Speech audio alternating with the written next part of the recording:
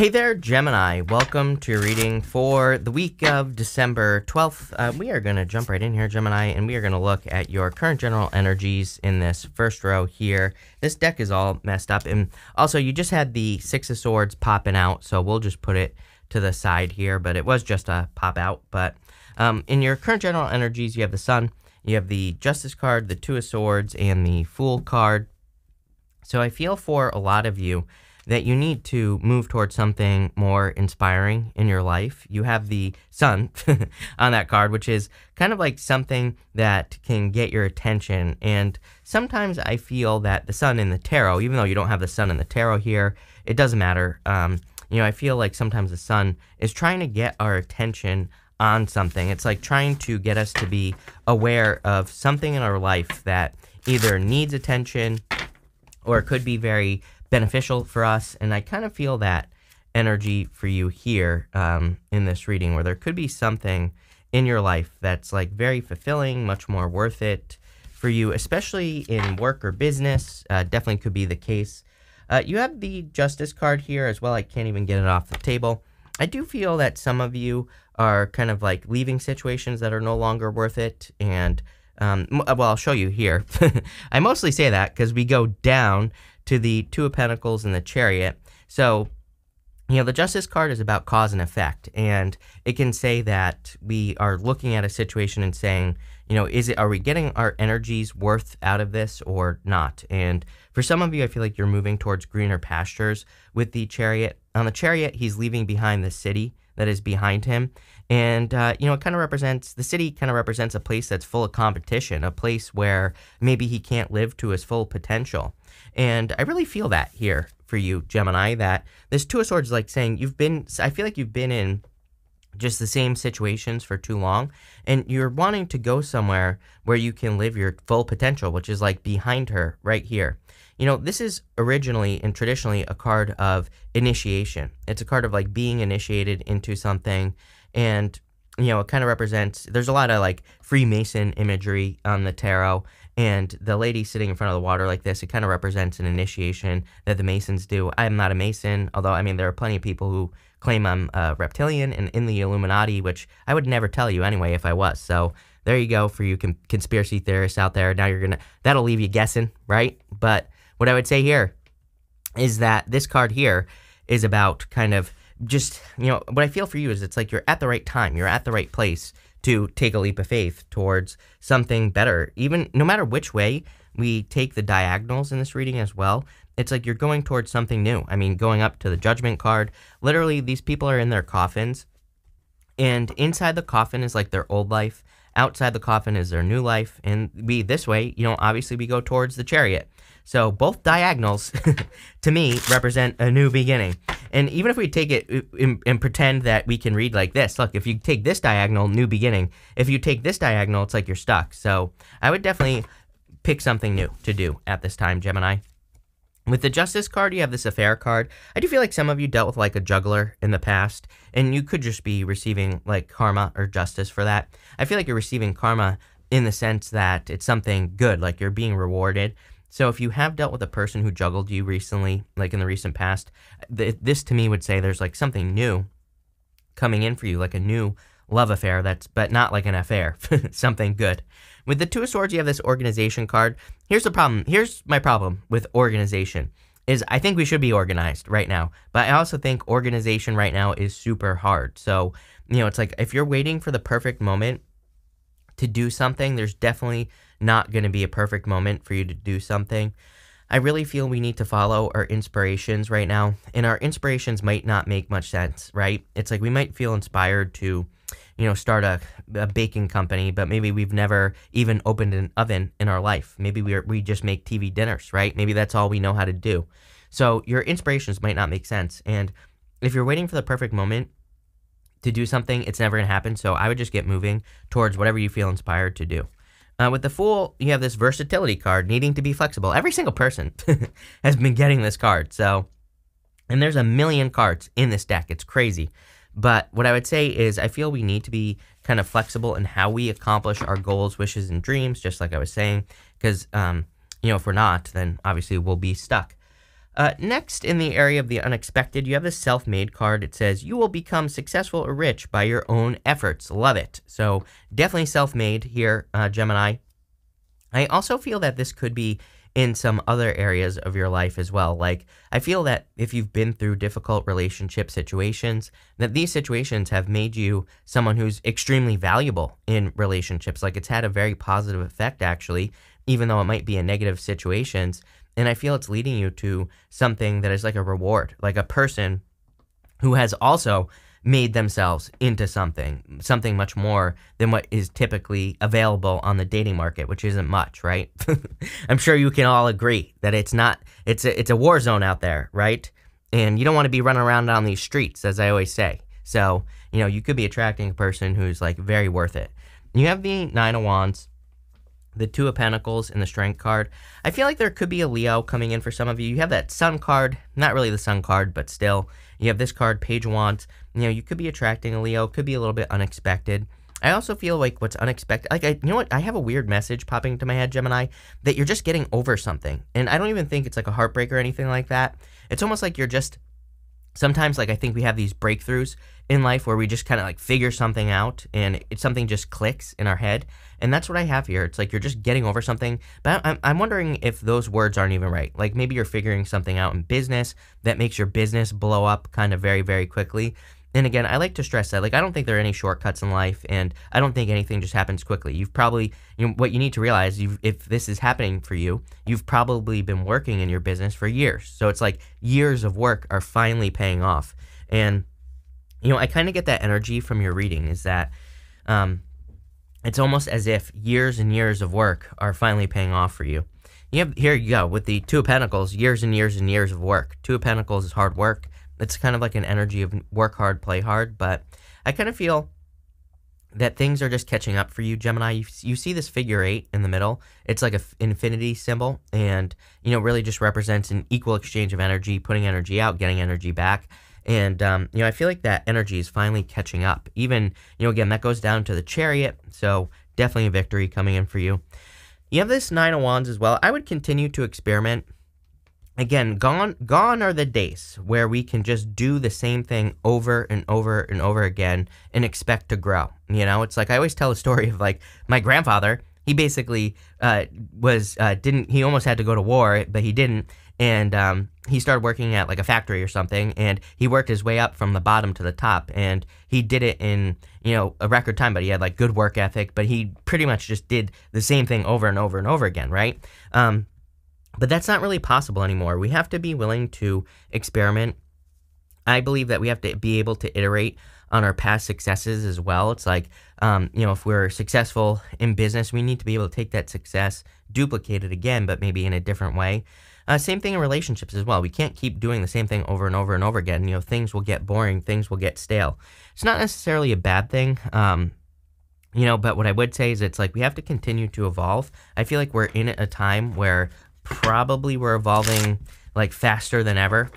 so keep up. And if there's any sign that could possibly keep up, it's you, Gemini, especially in this situation. With the Nine of Wands, you have this criticism card. Again, I feel this is everybody's fear right now. You know, we have Pluto entering to Aquarius. I talk about this a lot now. This will be in March of 2020, uh, 2023, and then again in March of 2024, officially, or somewhere around there, it officially moves into Aquarius because it's going to retrograde back into Capricorn next year, 2023. And this is like the beginning of needing to get attention because of the Aquarian energy. Aquarius is the star. So I think, you know, people always ask me, what's my spiritual purpose? I always say, like, our spiritual purpose is to create our own reality. God lives through us based off the things that we create. That's what I believe. And uh, you have this higher power card here. That's why I'm talking about this. And, um, but if you really want something to do, I would say Aquarius energy, you know, research the star card and, you know, be an inspiration to other people, follow your North Star, have a purpose, have something to work towards. It doesn't matter how big or small it is. And don't criticize yourself, number one. And don't worry about what other people say, number two, with that criticism card. Because again, I think everybody's biggest fear with Pluto and Aquarius will be exposure, being exposed for being wrong, you know, all those things. With the Two of Pentacles, you have this acquisition card. I feel like you're acquiring a lot of success. I, there's a couple on this card. This is like my fancy couple card. So, you know, could be like a fancy couple situation. Could be love coming in for you for sure, something long term. But I don't really feel love here. Honestly, I feel this is just acquisition. I feel like you are acquiring skills, but also uh, definitely could be increasing your finances. With the strength card, you have this resourcefulness card.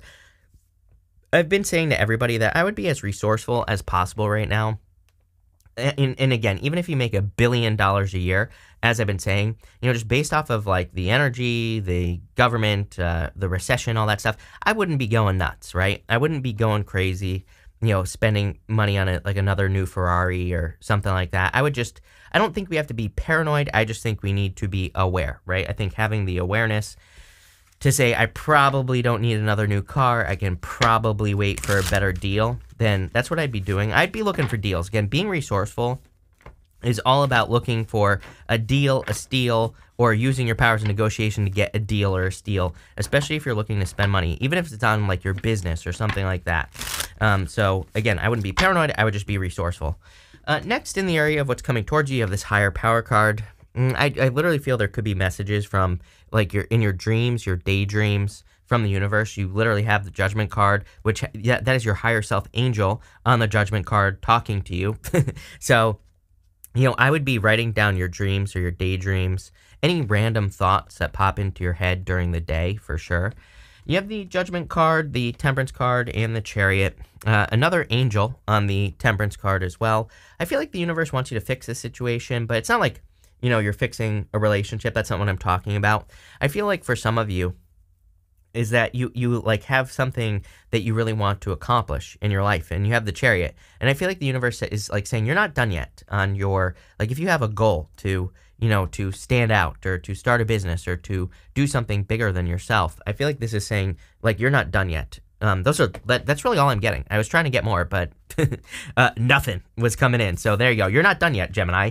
I feel like it's going to lead to a victory, whatever this is. But you have to again. Temperance is about like massaging something into place. It's like if one way doesn't work, then you have to try another way. So you know it's kind of like about alchemy and turning one situation into another i also i think it's a great practice right now for everyone to turn like a no into a yes or to learn how to do that could be through negotiation uh, it could also be learning how to take negative situations and get the juice, the gold from those negative situations. I always say, you know, at the end of pain is success. And it's like, you know, what kind of success can we get out of something? Uh, that's Eric Thomas, the hip hop preacher, says at the end of pain is success. And, you know, I feel this is saying, like, if you haven't gotten your gold out of your negative situations, then what are you doing? Like, I feel like you need to look at the challenges you've been through and say, like, what did I learn? What did I get from this thing?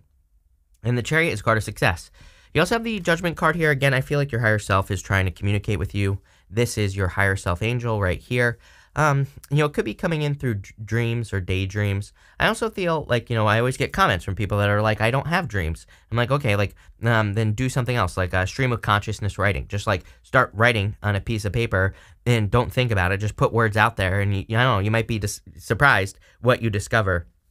We're not really talking necessarily about automatic writing here, although that could be something you do, but you know, just stream of consciousness, just write whatever words you think and just keep going until you can't any longer. Um, you might find some messages from your higher self in doing that.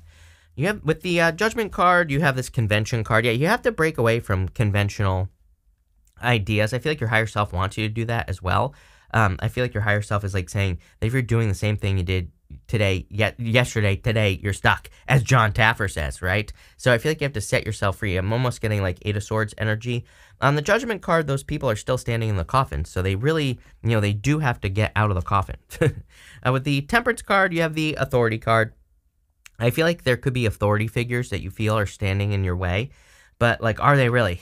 Um, I would say no. I don't think anyone can really stop us from doing anything for the most part. Um, so, you know, definitely something that you should look at. Some of you could be becoming uh, an authority figure as well. With the chariot, you have this rebellion card. Again, I feel like you're, you know, makes perfect sense. He's leaving the city.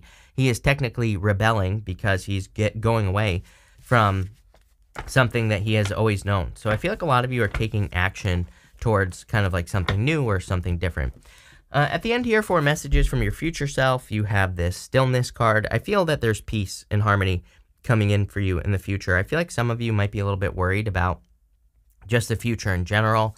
And I do feel like, well, part of me feels like your future self and your higher self, you have both of them showing up here because of this higher power card.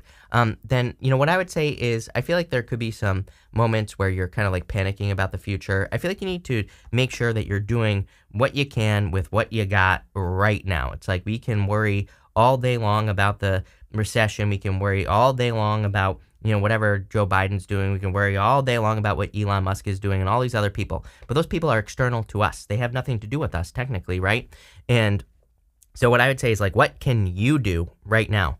I like I keep reminding people it's like, you know, the Aquarius energy. it's like Aquarius is like more the individual, but it's like the collective, but I also feel like there are things that are affecting the individual and I feel as individuals we can change the collective, right? And but we have to like do it. We have to take our power back. And that's what I feel like what a lot of you need to do with this energy is like take your power back and do what you can with what you got and not worry too much about things that you can't control. You have the Page of Wands, the Devil, and the Eight of Swords. How crazy is that? I didn't even see this Eight of Swords. I totally ignored it. Um, and I was saying I was feeling Eight of Swords energy on that Judgment card a little bit, like a little bit stuck. Not too stuck, but you know, just a little bit stuck. So I would stay open to. You know, I say Eight of Swords is about only seeing one way of doing things. You have the versatility card here, so you know, being open to different ways of doing things. Uh, with the devil, I feel like there are things inside of you that need to come out. Um, you know, I feel number one, I would avoid any toxic connections from the past period, but the devil you can see that these people have animal horns on their head. And the animal horns kind of represent our animal instincts, our baser instincts. And sometimes I feel that the devil kind of says we have something in our loins, some something we want to create, something that is more root chakra energy. We need to take that, bring it up to our head, and kind of like express it into the world. So the devil is actually really good for work and career because it is Saturn energy, and it's really not a bad card. And what I would say here is if you're working on something, there could be a lot of success there for you. Uh, you also have this Page of Wands. Um, you know, Page of Wands, I feel, is like enthusiasm returning to your life. I feel like your future self wants you to know that, you know, if you've been feeling down, if you've been feeling like there's no hope or anything like that, I feel there's like a, a return of happiness and enthusiasm and all those things coming in for you. With the uh, Page of Wands, you have the Seduction card. I do feel like someone, like if you're looking for love, I do feel there could be a person coming in for you. It's kind of funny. This card's been coming up a lot. This card is Jupiter in Pisces. We have Jupiter in Pisces for a little while longer now. It leaves, you know, before the end of December officially into Aries. And, you know, what I would say is I feel like once Jupiter leaves Pisces on the 20th or whatever day it is, um, you know, then, you know, there could, that's, that could be the start of maybe a new love affair, new options in love for you. With the Devil card, you have the Exaltation card. This card is like a card of something being divinely guided into your life, something that is like meant for you. And uh, but it has to be created. That's what I feel with the Devil card is like there's something that you want to create. It could be a new business, a new job, could be a new relationship, could be anything. I just feel like you have to do it. with the Eight of Swords, you have the Excitement card. Definitely more excitement coming in for you, especially with that Page of Wands. I mean, this reading fits in very well with the astrology, I would say, as well, because I think we're all just a little bit like bored, and I feel we all want something maybe new or different in our life, and uh, that's kind of what it looks like is could be coming in for you here. Uh, in your, I'm gonna pull five main themes now. Uh, your first one, you have this wedge card. It says someone is trying to come between you and a friend or something you want. I would definitely be careful of that. I mean, Mars retrograde in your sign. Definitely, I would be careful of like anyone who's trying to come in between you and someone else.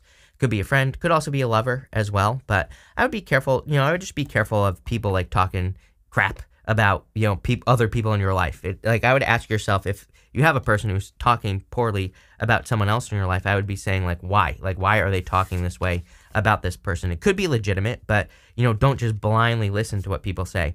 Uh, next, you have this February card. This card says February on it, and you also have this Bull card. It says plenty of material things. So by the time we get to February of 2023, for the people in the back, then I feel that's when you could really notice an increase in your abundance with this Bull card. So love it. Uh, you also have this force card. It says muddled, unclear thinking. I definitely feel you need to be more clear. I feel, but I kind of feel there is clarity coming in for you after a period of confusion, just in general. Uh, you have this career card. Your career could be important at this time. Um, there is a lot of good career stuff. Uh, I would take the lead in any area, any career opportunity that you can. If you have a career job, or even if you have a business, I think they're just intuitively, I feel there could be opportunities where like your boss is looking for someone to take lead. I would do it. It's for you. Uh, next, you have this tent card, and it says temporary situation. What is this temporary situation? Uh, well, this says great personal sorrow. So if you're sad about something, or if you've gone through a heartbreak or something along those lines, then I would say that situation is temporary. But um, that's that, Gemini. Pretty interesting. So uh, thank you for being here, Gemini. I really appreciate it. Make sure to watch your sun, moon, and rising for a full picture of what's going on for you at this time. But thank you, and definitely enjoy your week.